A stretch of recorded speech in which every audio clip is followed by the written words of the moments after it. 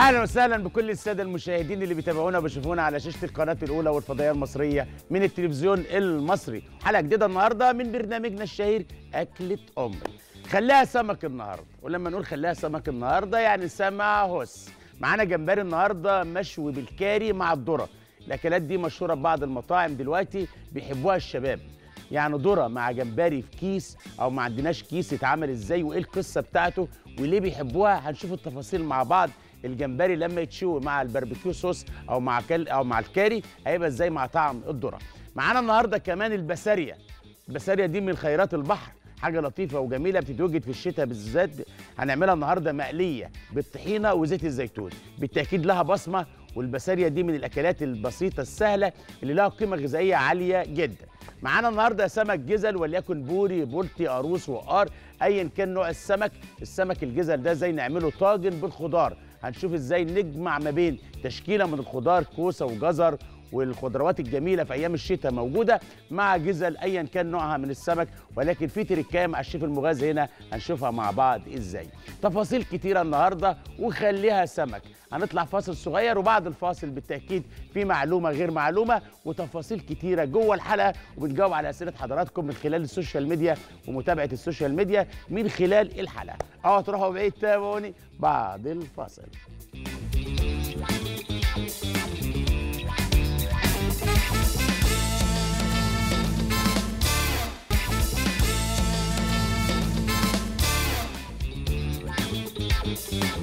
ورجعنا لحضراتكم بعد الفاصل للتفاصيل وخط سير الحلقة. إيه اللي ممكن ياخد مننا وقت وإحنا بنعمل أكلة السمك النهارده؟ جينا بوري أو جزل بولتي جزل وقار هامور آه، لوت أي نوع سمك. ومعانا جمبري ومعانا البساري أعتقد في الثلاث أطباق دولت أكتر حاجة ممكن تاخد وقت اللي هو الطاجن السمك بالخضار. مقاديره على الشاشة. تشكيلة من الخضار من خيرات ارضنا إذا كان كوسة ولا جزر ولا بسلة اللي موجود عندنا ممكن بتنجان ممكن قرع عسلي. معانا آه، سمك جزل النهارده البوري بنجيبه نقطعه على ثلاث قطع. ومعانا طبعا توم وبصل وقليل من الزبدة والبهارات بتاعتنا البسيطة السهلة. ولكن كالعادة في تركاية مع المغازي لما نعمل طاجن السمك بالخضار. دايما قليل يعني لما بيجمع ما بين تشكيلة من الخضار وسمك. السمك يا إما مقلي يا إما مشوي يا إما سنجاري يا إما صينية وهكذا. حلو الكلام حلو الكلام. أول حاجة عندي طاسة على النار. الطاسة دي بحط فيها شوية زيت وباخد السمك الجميل ده كده. ده سمك بوري مقطعه جزل زي الفل. بتتبيله تتبيلة كده تبهيرة يعني. شوية شمر حلوين كده. شوية فلفل مع بابريكا. ممكن شوية كاري مع الخضار بيعمل مزيج حلو. وملح وفلفل. كمون وكزبرة دي بعدين. حلو الكلام؟ آه. لأن الكمون لما بيغلى على النار بيمرر شوية. كده السمكة متبهره عندي زي الفل. مش هحط لها توم. توم مش هيتحط هنا. باخد السمك بالتتبيلة دي كده. بحطه في الدقيق. بيسموها ال- إخواننا بتوع السمك نغبره في الدقيق. ياخد تعفيرة من الدقيق آه. أنا عايزك لما تعملي أكلة سمك في البيت تتحدي بيها أي مطعم تشتري منه. أنا أحب السمك لما يتعمل في البيت. يعني الشيف المغازي شخصيا يحب ياكل السمك في البيت. حلو الكلام؟ نشيل كل ده من هنا. ونمسك السمك كده نتبله بالتتبيلة الحلوة اللطيفة دي كده. وما نقعدوش في الدقيق كتير لأن أنا مش هقليه. أنا بحضره للصينية بس عايز الخضار ياخد طعم السمك. إزاي؟ بالتفاصيل اللي أنا شغال بيها دي كده. طاسة شديدة الحرارة على النار باخدها زي ما هي كده وبحمر دول كده. حلو. بالشكل ده كده. اللهم صل على النبي. حلو قوي بعد كده عندي الخضار بتاعنا الجميل الحلو ده كده في البايركس اللي أنا هدخله جوه الفرن وتحط في الاعتبار البايركس ده هو اللي هتقدميه على السفرة فده يكون موجود معاكي. حلو؟ السمك بعد التحميرة دي كده بنقلبه.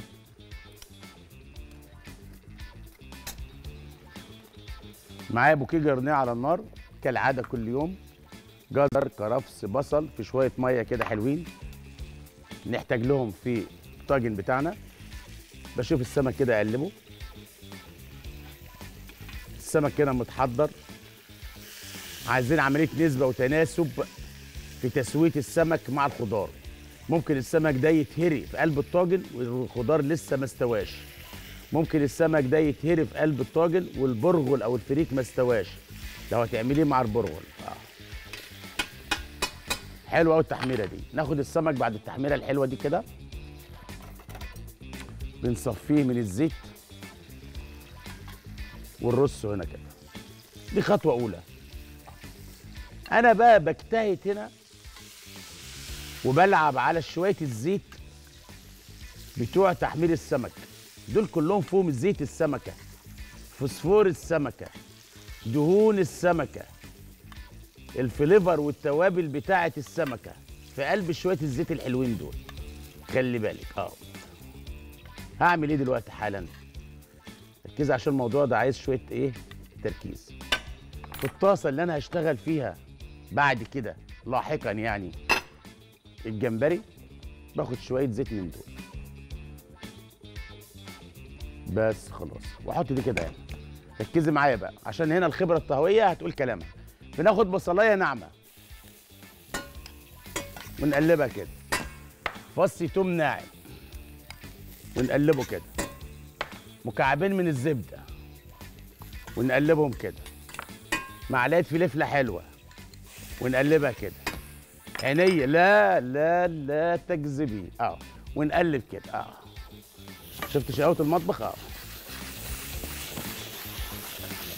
هنا سر الموضوع. السر في الطاسة والمغازي جاب الخلاصة. آه. التقليبة دي مهمة جدا. آه. توابلنا هنا شوية بابريكا حلوين شوية كاري صغيرين شوية شمر ناعمين. دايما الشمر يحب السمك والسمك يحب الشمر. نعم يا غالي الشمر تدفع كام وأقول لك إيه هو؟ معلومة غير معلومة. معانا قليل من المية اللي موجودة عندي أو البوكيه جارنيه يفضل بوكيه جارنيه. يا ويلي العب يا سمك.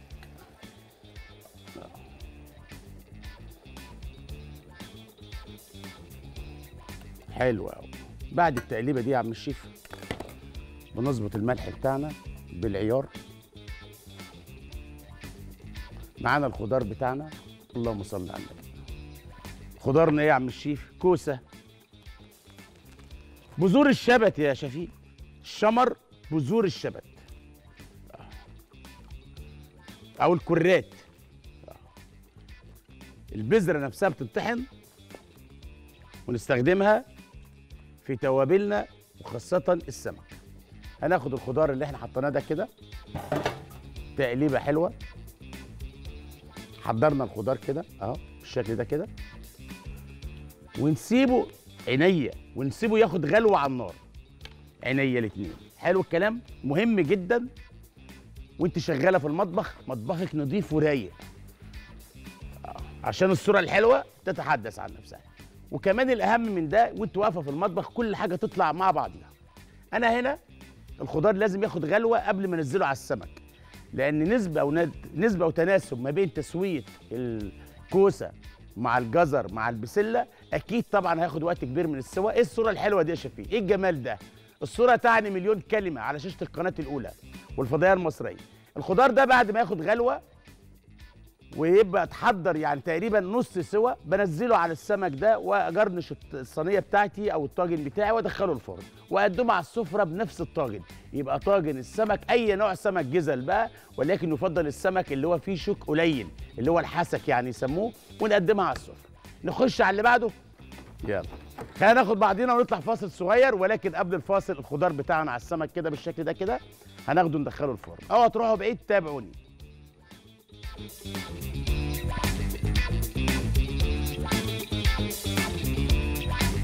بعد الفاصل للتفاصيل ومخرجنا مصمم يشوف الصينية الحلوة دي قبل ما ندخلها الفرن. تفاصيلها في الصينية. خضار خد غلوة على النار. تشكيلة من الخضار اللي انت حباه. ممكن بتنجان ممكن بطاطس ممكن كوسة ممكن جزر بسلة اللي انت حباه. ذره صفراء حلوة قوي مفيش أي مشكلة. كل ده مع بعضه ولكن التكنيك وطريقة العمل اللي إحنا اشتغلنا بيها مع بعض خد الغلوة على النار مع الفليفر والتوابل درجة حرارة الفرن عند 180 هندخل الصينية دي في الفرن تاخد وش؟ حلو قوي وناخد دي نخليها هنا عشان لنا كلام كبير معاها قوي حلو قوي فاكرين شوية الزيت اللي أنا كنت محمر بيهم السمك؟ برش منه كده شوية. يا ويلي إيه المدرسة دي؟ إيه المدرسة دي؟ آه آه. وندخل دي الفرن يا عم الشيف. تاخد وش. اللهم صل على النبي. آه. هتاكل الخضار وتسيب السمك للضيوف والصورة في الفرن تسبق الحديث. إيه الحلاوة دي وإيه الجمال ده؟ آه. اقفل يا سمسم ولا افتح يا سمسم؟ اقفل يا سمسم.